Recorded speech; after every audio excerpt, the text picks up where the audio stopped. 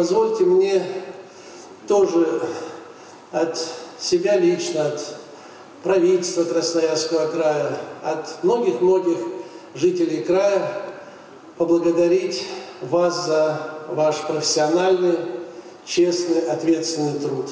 Более 8,5 тысяч строительных организаций, более 80 тысяч рабочих и специалистов каждый день создают новую жизнь, новую экономику, новые социальные объекты.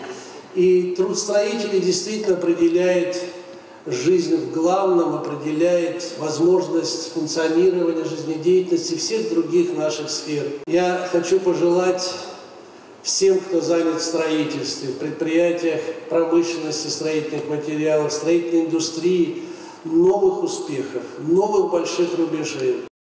Объемы строительно-монтажных работ за 7 полных месяцев не упали. Объем жилья сохранился на уровне 2015 года. А вы помните, что в прошлом году мы ввели впервые за новую историю края миллион триста. В этом году введем не меньше. Мы ввели все объекты, которые по плану предназначались. Вошли массовые сейчас виды работ по объектам универсиады. То есть живем полноценной жизнью строим объекты, те, которые в программе, думаем о том, что будут и другие. Цемент производится, объем уровня прошлого года, кирпича чуть-чуть больше, немного меньше выпущено железобетона. Строители – это те люди, которые определяют облик нашей страны, нашего города, нашего района, нашей, нашей малой родины. А строители – это необыкновенные люди, готовые а, ночью, в холод, снег, в дождь, отдавать свое знание, отдавать свои силы, отдавать свое умение, ну, в принципе, незнакомым для них, для, них, для них людям. А День строителя, не зря говорят, что это одна из самых древних сам профессий, потому что именно она и определяет развитие и прогресс нашего общества, развитие нашего общества.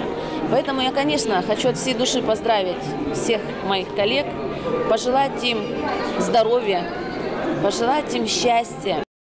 Ну, этот комплекс возводится, это комплекс строительства жилья экономического класса, он возводится в рамках программы «Жилье для российских семей».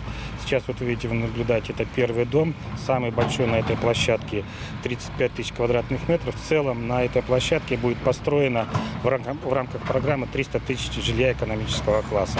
Заемщики могут воспользоваться льготной социальной ипотекой, это 11,5%. И также в рамках этого будет действовать социальные выплаты а, участникам программы из краевого бюджета, краевым бюджетникам а, по краевому закону. Вот в основном основные черты этой программы.